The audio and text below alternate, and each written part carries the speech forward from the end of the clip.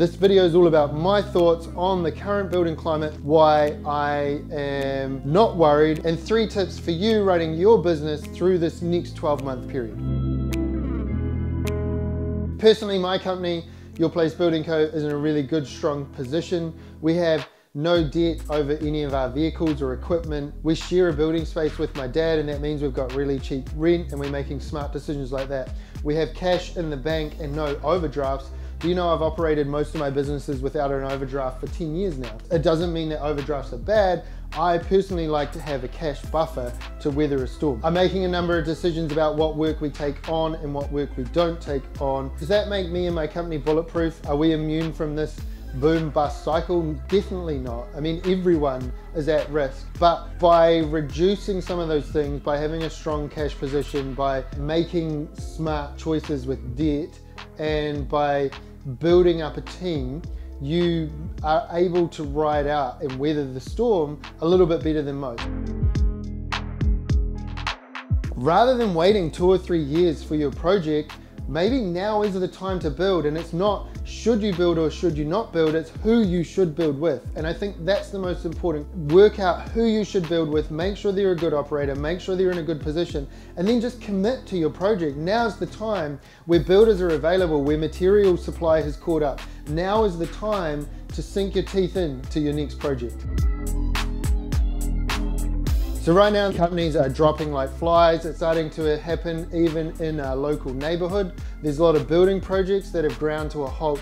As interest rates have gone up and house prices have come down, that's also put a crunch on future jobs. In a period of growth, it's real easy to just keep signing up jobs and not back costing properly, not really understand where your profit's coming from, and that's fine while we keep signing up jobs because you keep getting deposits, you keep doing some work, you get some money in.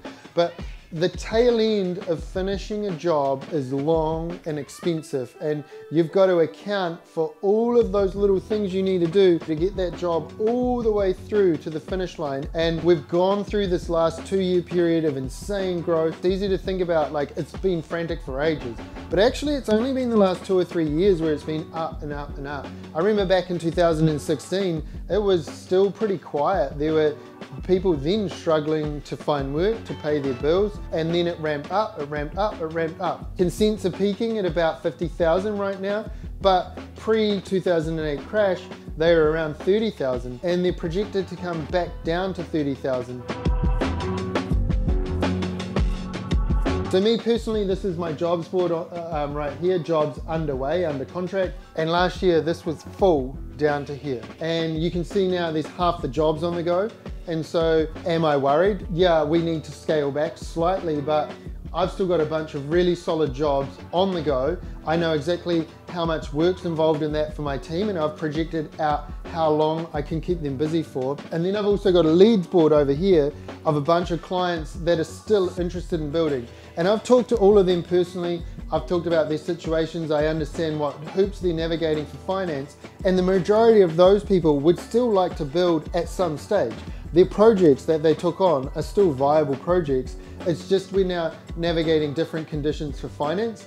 When you have a higher interest rate, it means that the costings of your project now get tighter. And when the value of your house comes down, there's less reward. You know, it means you've got to think about the scenario differently. It's easy to commit to building when money's really cheap and values are going up and up and up. And when those things change, it starts to mean people reassess their projects. It's real easy to overreact both ways. And, and building is this classic boom bust, famine feast cycle. On one hand, you got all this work coming out your ears and you can't keep up. You're like, right, we're five months out. And then you have these weeks where you're like, I don't even know what the boys are gonna do tomorrow. Where has all the work gone? It can be this huge, big up and down. And it can be like that financially as well, especially if you're doing big projects and your money is tied up in progress payments to hit milestones and then you get these little delays that drag your milestone out. And sometimes it is a matter of weeks that affects the cash flow.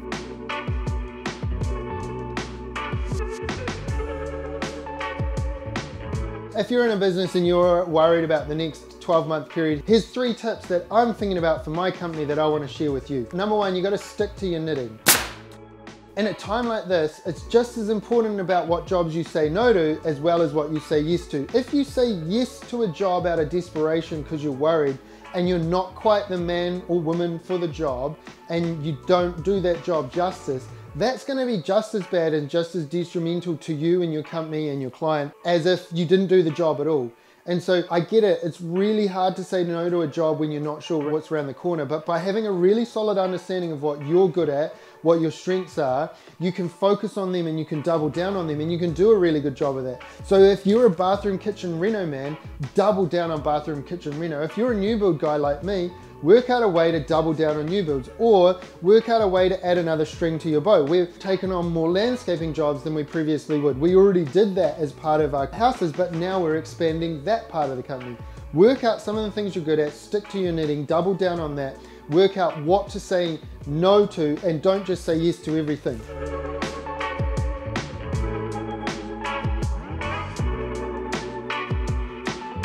Tip two, it's working on your mental health, remembering that you are not your business, that they're two separate things. And so your business can be struggling, but it doesn't mean that you have problems and it doesn't mean that you're struggling. And so the problem is we're often like this, we're so intertwined, but you want to create a little bit of separation between you and your business. You want to look after your mental health. You want to, you know, go for walks and runs and talk to people and write stuff down. And you probably don't want to double down on the beers and those other addictive things. Yeah, sure, enjoy yourself, but make sure you're looking after your frame of mind because your frame of mind will help you make more positive decisions which leads to one thing after the other after the other. Sometimes you can't change the environment you're in and what's happening. The only thing you can change is how you feel about it. And everything you do, there's always a silver lining. For me personally, and a lot of the people I know in the building industry right now, we're enjoying having a few less jobs on the go and being able to do a better job of the jobs we've got on the go. I think the other thing is you've got to expect that sunny days are there. There's this really cool one minute video from Headspace about rainy days and how, you know, when you're in a storm, it just feels like it's going to be dark and gloomy forever. But have you ever been in a plane where you go up, up, up above the clouds and it's just crystal clear blue sky everywhere? So think about that. There's a blue sky and the sunny days out there. This storm will come and go, it will pass. If you found any of these tips helpful, can you do one thing for me? Go ahead, click subscribe, help us lift our count. Tip three. I think the thing for me is I'm planning to be in this building game for a long time. So as well as expecting good times, I've got to expect bad times. I've got to hope for the best, but I've got to expect the worst, and I've got to have a plan for both situations. And I think that's key, is if I know that a storm is around the corner and then I'm gonna have to batten down the hatches and ride it out, it changes my mindset. As the tide goes out, you see who's wearing no pants. And there's a lot of building companies out there right now that are wearing no pants and the tide's gone out and you're gonna see them go under. But there is a bunch of us operators that are in a good position, that have been doing this for a while, that are passionate about doing it well, that have great staff those operators will be here for the long term and they will ride out the storm. It's a delicate balancing act of making sure we have the right amount of people for the right amount of work and making sure that we've got the right people as well, being really selective about the people we take on. Personally, I'm looking forward to this year. I'm looking forward to consolidating my company. I'm looking forward to doubling down on my systems and processes. I'm looking forward to having fun again and bringing the joy of building and creating houses back.